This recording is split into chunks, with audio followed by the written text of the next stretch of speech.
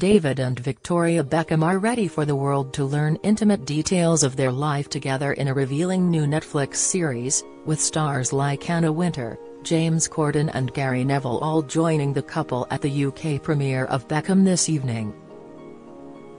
The four-part series about the former Manchester United player's life on and off the pitch, lands on the streaming site tomorrow, with major revelations about that of Four's career and his relationship with Posh Spice already teased ahead of its official release.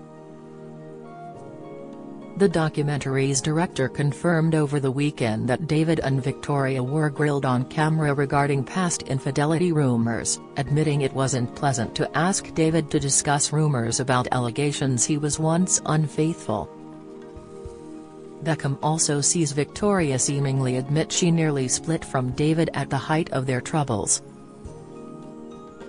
22:08 Zoe Delaney Victoria admits we were against each other as she address marriage troubles David and Victoria have admitted their marriage came close to breaking down with Posh saying tearfully, we were against each other. The couple, known as Posh and Becks, spoke in depth for the first time about their previous relationship problems and at the peak of the crisis, Beckham said it felt like they were drowning and he confessed, I don't know how we got through it. Their new Netflix series shows newspapers on screen covering the 2004 allegations made by his former assistant Rebecca Loos. The PA for the footballer claimed she had an affair with Beckham whilst he was playing for Real Madrid. Other women made other allegations too, all of which Beckham described as ludicrous at the time. In the documentary, director Fisher Stevens asks 48-year-old Beckham, multiple tabloid stories broke, and how did you deal with that? Read the full story here. 21:40 Zoe Delaney David shares thoughts on Taylor Swift relationship rumors David said Taylor Swift deserves to be happy as he discussed the relationship rumors between the U.S. pop singer and American football player Travis Kelce at his premiere earlier this evening. The anti-hero singer-songwriter has made headlines recently after she was spotted in the stands at NFL games to support the Kansas City Chiefs sparking rumors of a new romance with the team's tight end Kelce. Former England captain Beckham, 48, has experienced similar attention throughout his relationship with Spice Girls singer Victoria Beckham, 49, who he married in 1999 and shares four children with. Speaking on the red carpet for the London premiere of his new documentary series, Beckham said, I know there's a lot of noise around around Taylor at the moment. Taylor is an amazing talent and she's an amazing person and she deserves to be happy. And whatever she does, and whoever she's with, as long as she's happy that's the most important thing. It's the same with me and Victoria. We've been together now for 26 years, almost three decades. He continued, We've got amazing kids, we've built businesses, but we make time for each other. We respect each other and we love our kids. You have to work hard at these things and yes, we've been together for a long time, 21:38 Zoe Delaney Posh steals the show the reviews are in and it looks like David is upstaged by his beloved wife in his own Netflix series. The Mirror's showbiz editor Mark Jefferies has watched all four episodes of the revealing look at David and Victoria's life and argues it's Posh that steals the show. The Netflix series is called Beckham, but arguably it is his wife Victoria who is the star of the show at times and the more talkative about their ups and downs, Mark writes in his review. Beckham charts the career of David Robert Joseph Beckham from when he was a small boy signing for Manchester United right through to him now running Inter Miami. The first three parts of the documentary series are mainly taken up with winning things at United which fans of the club will love, meeting Victoria and his souring relationship with Sir Alex Ferguson. But the most interesting and revealing moments are in the final fourth part where Posh and Becks admit their relationship was on the rocks when Beckham signed for Real Madrid and they spent time apart. Read Mark's full review here. 20 colon 12 Zoe Delaney Beckham boys pay tribute to their dad's famous hairstyles David's three boys all appeared to be paying tribute to their famous dad this evening. Brooklyn, Romeo and Cruz all rocked hairstyles their footballer father has enjoyed himself over the years, with Cruz getting to be the one to pay homage to Beck's famous floppy 90s hairstyle. Meanwhile, Romeo, who is following in David's footsteps as he pursues a football career, opted for a tidy skin fade reminiscent of his father's memorable look in the early 2000s. Social media chef Brooklyn kept things current as he seemingly mirrored his dad's current do with a skinhead. 19:23 Zoe Delaney David was addicted to Victoria, former teammate says Gary Neville, whose production company is involved in the Beckham series, speaks on camera about David and Victoria's romance. Recalling the two stars meeting back in the 90s, Gary reveals in the Netflix documentary, he was on the phone to Victoria every second. He would stay on the phone until 1 in the morning. It was like an addict. He'd drive four hours to spend 20 minutes with her. Paul Scholes, who played alongside David and Gary for Manchester United, add, We knew David was peeing the manager, Alex Ferguson, off. I think he was probably going down to London at times when he possibly shouldn't have been. And the manager wouldn't have liked that. 19:07 Zoe Delaney All the stars come out for the Beckham family The Beckham family have managed to get some big stars to their premiere this evening, with Vogue editor Anna Wintour even gracing the red carpet in London. Speaking in the four-part series, Anna admits she wasn't sure about putting the Spice Girls on the cover of American Vogue in the 90s, but took the risk due to her daughter's love of the iconic pop group. Also posing for pictures ahead of tonight's screening are James Corden, football manager Steve Bruce and David's longtime best friend and former Manchester United teammate Gary Neville. 18:43 Zoe Delaney Brooklyn and Nicola reunite with David and Victoria Brooklyn Beckham and his wife Nicola Peltz posed alongside the aspiring chef's parents as they reunited with David and Victoria and Brooklyn's siblings this evening. Billionaire heiress Nicola is wearing a stylish red leather ensemble for the premiere, with Brooklyn keeping it simple in a suit as they pose for pictures alongside Harper Beckham, Cruz Beckham and Romeo Beckham and his girlfriend Mia Regan. Brooklyn is mentioned quite a bit in the first two episodes of Beckham, with Victoria revealing she told David she was pregnant with their first child just hours before a huge football match before David and the England team played against Argentina at the 1998 World Cup, Posh Spice told him she was pregnant with their eldest son, Brooklyn.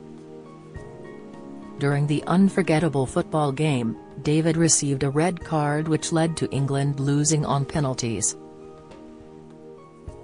Read how Victoria broke the news to David here. 18 colon 19 Zoe Delaney David and Victoria are here. David and Victoria have arrived and look like their usual fashionable selves, ready to watch their new Netflix series in style. Fashion designer Victoria has opted for a chic white suit for the Beckham premiere, with the mum of four looking fabulous in an oversized white blazer and matching trousers. Posh completes her look with a simple black clutch and wears her hair in a side ponytails. The equally stylish David has gone for a classic dapper suit for the star-studded event. 18:15 Zoe Delaney stars begin to arrive for the UK premiere of Beckham Famous Faces have begun to arrive at the Curzon Mayfair ahead of Beckham getting its first airing before becoming available to stream on Netflix from tomorrow. No sign of David and Victoria or their four children just yet but celebrities like former footballer turned TV pundit Alex Scott and singer Jess Glynne have arrived and posed on the red carpet before heading inside for the special screening. 18:05 Zoe Delaney David was so scared of kidnap threats he slept outside Brooklyn's door Beckham will also see David reveal he slept on the floor by the hospital door on the night his son Brooklyn was born, after death threats gave him fears over his family's safety. At the time the former England captain was hated by a section of the public for his World Cup red card against Argentina in 1998 and he was regularly abused in the street, with one crazed fan even sending a bullet in the post to Manchester United's Old Trafford Stadium. Reflecting on that time and the birth of first child Brooklyn in March 1999 at London's Portland Hospital, Beckham said, the moment he came out, I all of a sudden thought how am I going to protect him? That night Brooklyn slept next to Victoria. Victoria was like come on squeeze on the bed with me and I was like absolutely not, am sleeping with my head against the door. Because I was paranoid that someone was gonna steal him. Read more here. 17 Poland 23 Zoe Delaney David and Victoria to break silence on infidelity rumors in new Netflix series David and Victoria Beckham look like they're set to finally break their silence on past infidelity rumors in their revealing new Netflix series. The director of Beckham confirmed over the weekend that he quizzed both David and Victoria about the difficulties they went through when filming the documentary, admitting it wasn't pleasant to ask David to discuss rumors about allegations he was once unfaithful. The Manchester United legend, 48, and Victoria, 49, have been loved up since meeting in 1997, tying the knot in 1999 and welcoming four children into the world together. While the happy couple may have one of the strongest marriages in showbiz these days, claims David had indulged in extramarital affairs plagued the pair during the early 00s. Other than denying press reports and claims at the time, both David and Victoria have kept quiet about the past scandals, until now. The iconic couple both discuss their relationship in the new Netflix series, with director Fisher Stevens seemingly confirming no subject was off-limits when it came to probing questions.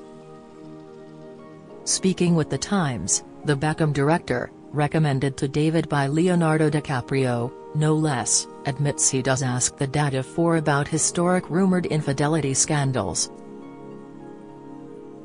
It wasn't pleasant, but we got into it. For me, I approached it as how did your marriage stay together? And you'll see how he responds. I talked with both of them about the difficulties they went through, Fisher reveals. Backing Fisher up, Beckham producer John Battsek seemingly confirms Victoria is also quizzed about possible marriage troubles, adding, they were both signed up to telling us whatever we wanted to know, am sure you'll say, of course you would say that. But they were. There was no you will not ask that or do that.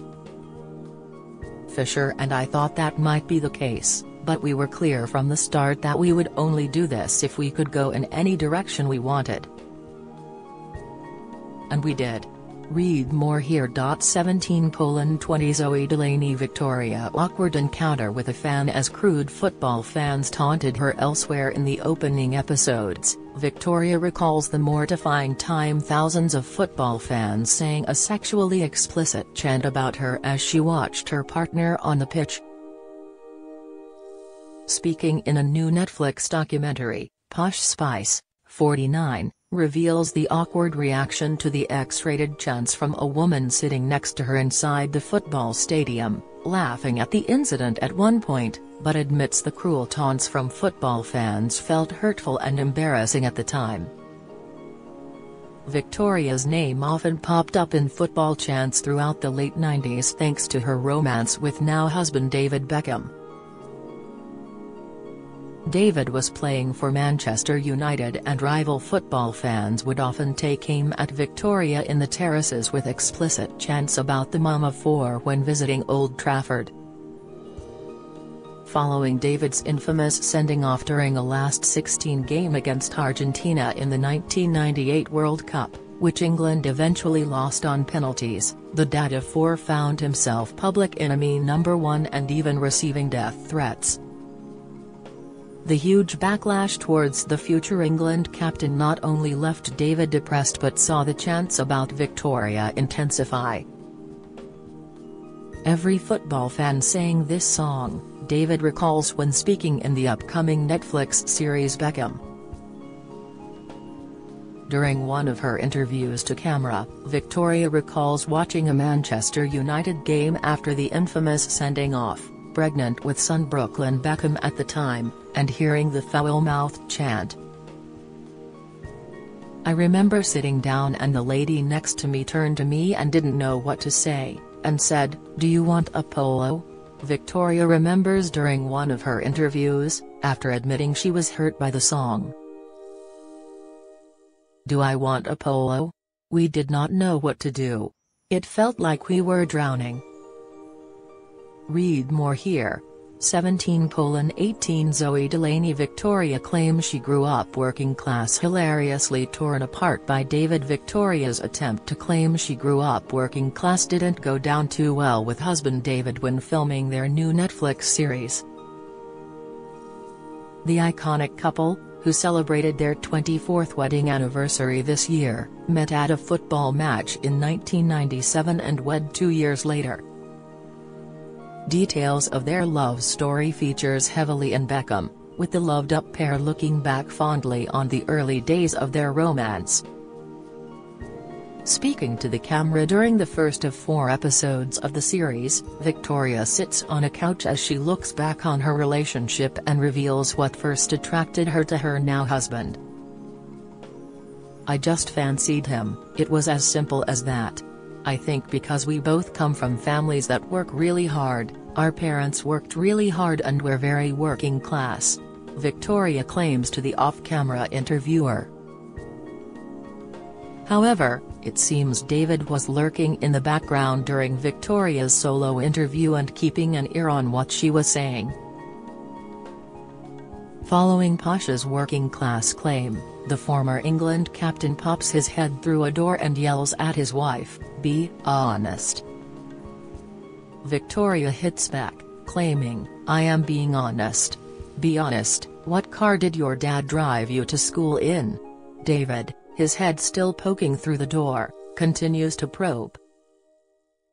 As Victoria tries to deflect and move on, David doesn't give up, asking once again, be honest, what car was it? Still not wanting to answer her husband's question, Victoria claims, it's not a simple answer. Eventually, the mum of four gives in and admits, in the 80s my dad had a Rolls Royce, Satisfied, David says thank you and leaves Victoria to continue with her interview. Read more here.